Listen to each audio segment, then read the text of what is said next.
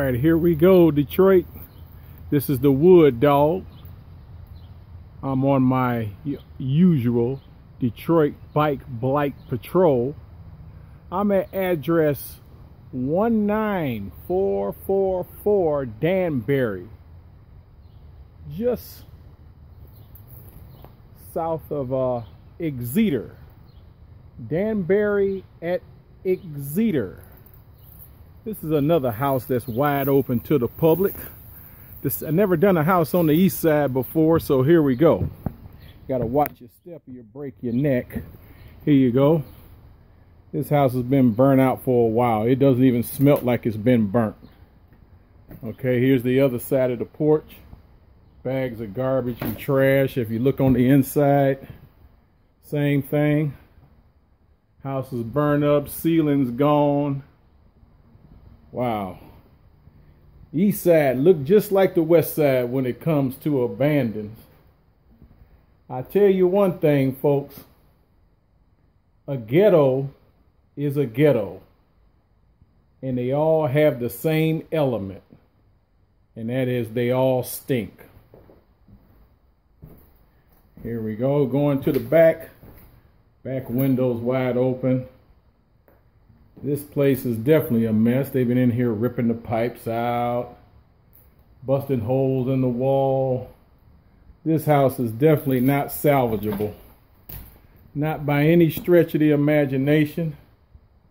There go some pipes right there. I guess they didn't want them. Couldn't get them all the way out. All right. Here we go. I'm looking out one of the windows at a field. If you can look down there, you'll see a sign. It says Danbury, Exeter, and West Lantz. See if I can blow it up for you. There you go. Danbury at Exeter and Lantz. You know, these houses are in some horrible shape. Some of them are salvageable what surprises me is that some of them are still navigatable. You can go up the stairs just like I am right now. Okay. There's an old rusty toilet there. I dare you to sit on that one. Okay. This place has been burned up. Going into the front room like somebody said on fire just for the hell of it. Here you go. If you want to do a Superman, there you go. Yule all day long. You see right out into the street from a burn up roof. How about that? Yeah, but I tell you one thing. Detroit is bleeding. Detroit is bleeding, Detroit. We're bleeding. I tell you one place where Detroit is not bleeding at, and that's downtown. They tearing up streets, replacing pipes in the ground, replacing infrastructure downtown. Got the fastest internet in the world downtown Detroit. Rocket. Internet so fast, as soon as you push a button, there's your information. Don't even have to wait. You have to excuse me, I'm breathing a little hard. It's about 85 degrees today. I'm out here on my Detroit Cadillac. There you go. Four flats this year, but I'm still doing my Detroit my Detroit slow roll in the neighborhood. Everybody else is downtown where it's smooth with fancy LED lights, flags, all that good stuff. All I got is a basic raw bike with a water bottle on it. I don't ride my bike through this grass, folks, because I might run over a nail. Here's the house right next door. Once again, this is 1944 Danbury.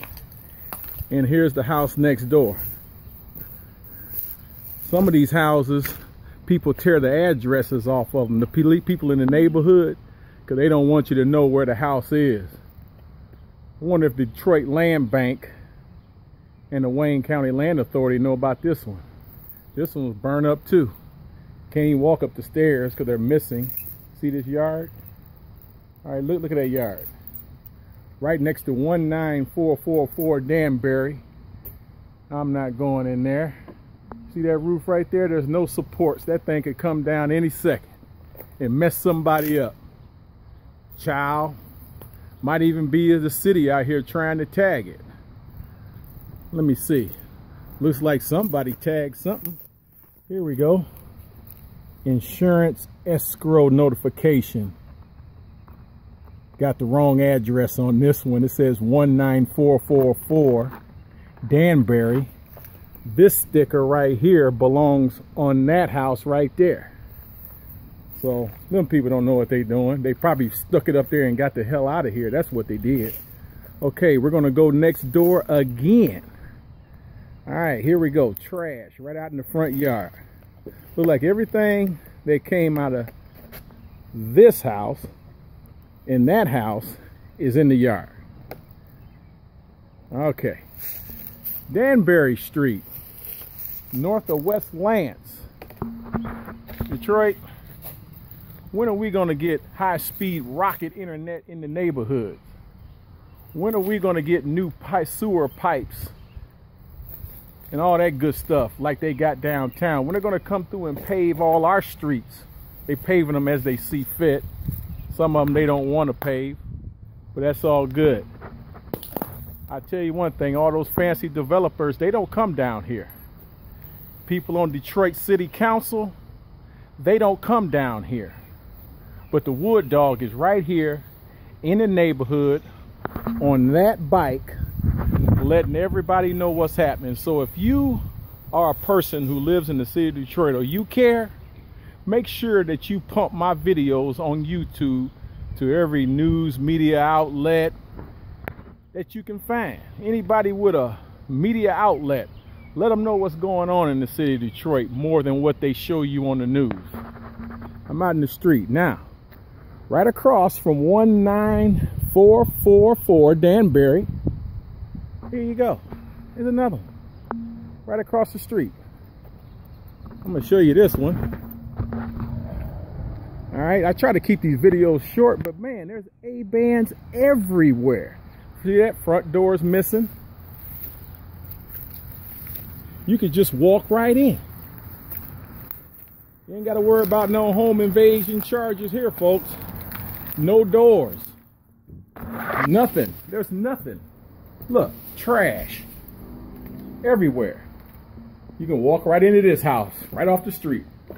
See that? No front windows, trash everywhere. You can see all the way back to the kitchen. Living room, walls busted out. They done definitely been in here and got everything they wanted up out of here. That's the stairs going upstairs. Not going up there this time. But if I continue, let me watch where I'm going. If I can continue to find houses like this, Detroit, City Council need to come out here and look around instead of being out there in City Hall in that air conditioning building down there at the Detroit Coleman Young Center. Come out here in the neighborhood where I'm at.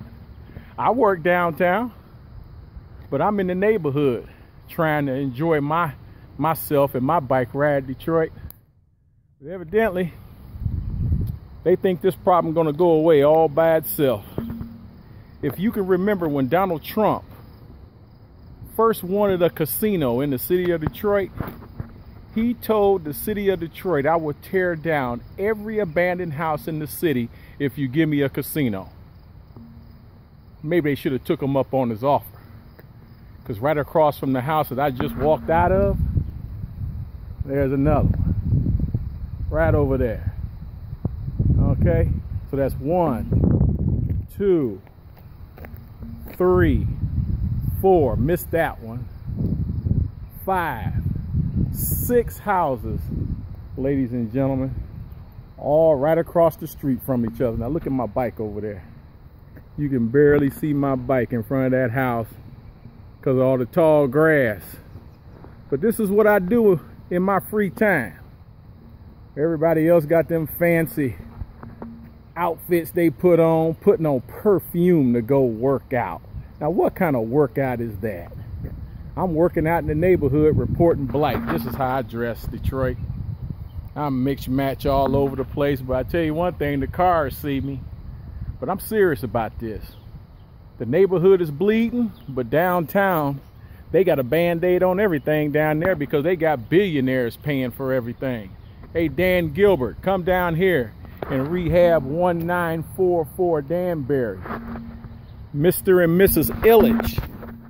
Building that 100 billion dollar or whatever facility you got down there for the Red Wings. Come out here in the neighborhood.